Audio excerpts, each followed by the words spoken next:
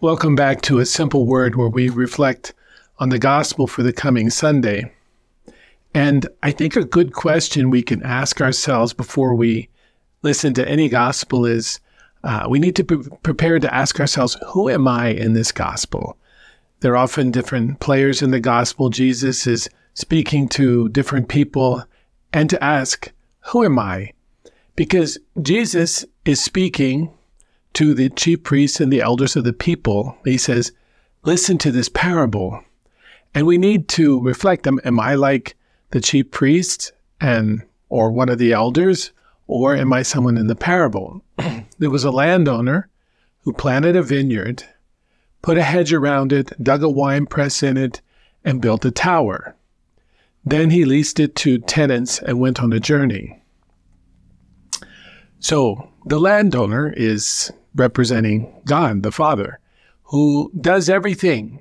He uh, plants a vineyard, he puts a hedge around it, he, he digs a wine press, he builds a tower. God does everything, and then he gives it to tenants, that, that's us.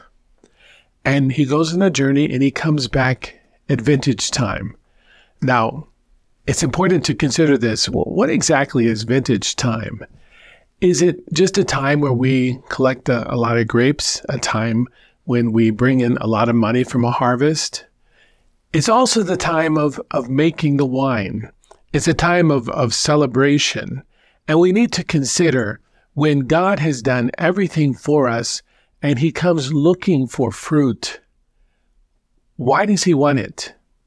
Is this something that's for him that, that God himself wants to get his his piece of the pie, so to speak, or his his part of the harvest? Or is God wanting to see that that what he planted has borne fruit? That that and this fruit actually reflects in us, that we are able to to show that, that, that God has given us something we need to consider why are we in this Eucharistic celebration? Why are we listening to the gospel? Are we open to receiving a grace? And for what purpose? When you ask for a grace, what, do you ask for? What, what do you hope is going to happen in your life? Whenever you turn to God in prayer, what do you hope will happen?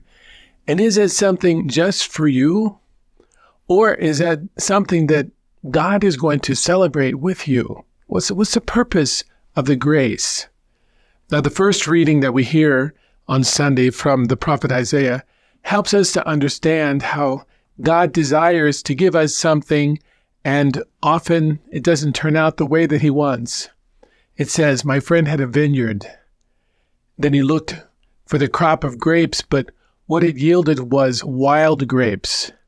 Now it's not exactly sure what these wild grapes were, but they they were they were uh, for sure they didn't taste good they they were the kind that, that would you would want to to spit out that you that you didn't want to eat. But a good grape had been planted, but what came out was wild grapes. And God is saying to the prophet Isaiah, "This is this is you." You know, He says, "Why, when I look when I looked for the crop of grapes, did it bring forth wild grapes? Why did you turn out this way?" This is the history of, of salvation so often, God has done good things for us and he gives us everything that we need, but the, the fruit that we bear just, just isn't what he's planted in us.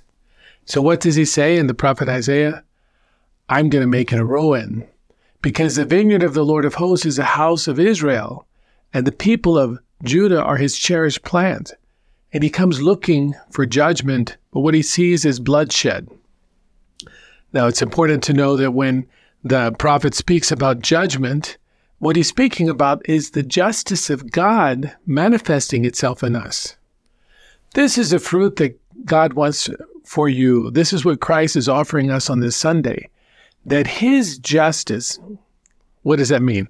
His goodness, his, his life, everything in his being is given to us so that we could experience eternal life. But what does the prophet see in in uh, in Isaiah? What what does he see? Bloodshed. In other words, we prefer our own justice to the justice of God. This could be any of us. We, we always like to turn to God when, when things are going well and, and, and we like to pray because things are going well. And we also like to turn to God when, when we're in need so that God can help us. Um, but what God desires to give us more than anything else is not just that we spend time with Him and not just that He take care of our little needs. He wants to give us eternal life itself. So it's in this vein that we should continue to listen to the gospel. Uh, what happens? The the owner wants to get his grapes. Well, it says that when vintage time drew near, he sent his servants to the tenants to obtain his produce. But the tenants seized the servants. One they beat, another one they killed, and a third they stoned. So they don't want to give up this this this produce, these these grapes, even though they, they belong to the owner. So he sends some more servants, more numerous than the first ones, but they treated them in the same way. You know, they they killed them. They they got rid of them. And finally he sent his son to them, thinking, They will respect my son. But when the tenants saw the son, they said to one another, This is the heir. So let's kill him and we're going to get the inheritance. And, and that's what they did. They, they killed him. This is a word for us. Again, where, where, where are we in this gospel? I would like to think that I'm the kind of guy who uh, does my work. Uh, I allow God to work in me, and when there's fruit, I, I share it. But but but the reality is, uh, often I, I look at what I do and I think it belongs to me. I'm the one who's worked for it. I'm the one who's who's uh, who's obtained this. Even when we come to church on, on Sunday to listen to the gospel, why are we there? Are we there because we believe that, that we're good people? Probably are. Or are we there because God has brought us there? God is going to give us a word. God is going to bear fruit in our life. And Jesus asked the question, What will the owner of the vineyard do to those tenants when he comes? And then you have the scribes and the Pharisees saying, and this is so interesting, he's going to put those wretched men to a wretched death and, lead, and lease his vineyard to other tenants who will give him the produce at the proper times. And Jesus is warning them. This is a word for them, the scribes and the Pharisees. He knows that he is going to die. And that these people who are listening to this parable don't realize who it is that's in front of them. He says this in other places in the gospel. You, you don't know who it is that's with you. So again, as I listen to the scripture on Sunday, who am I? Am I someone who knows that it's Christ that's speaking to me in this gospel?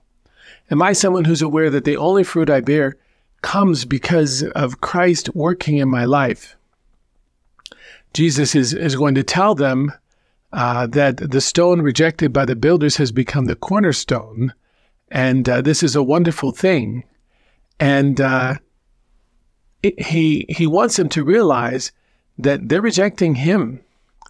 And, and he says it then very clearly the kingdom of God will be taken away from you and given to a people that will produce its fruit.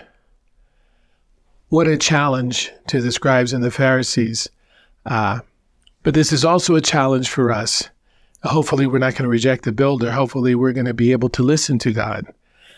But the important thing that we need to do is to, as we listen to this reading on Sunday, is to ask ourselves the question Am I the wretched one who thinks I'm responsible for the harvest?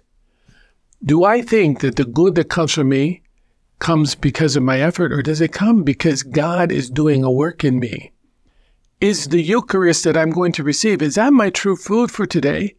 Or have I bought my food that I'm going to eat? And finally, do I cultivate the, the fruit that's given to me by God?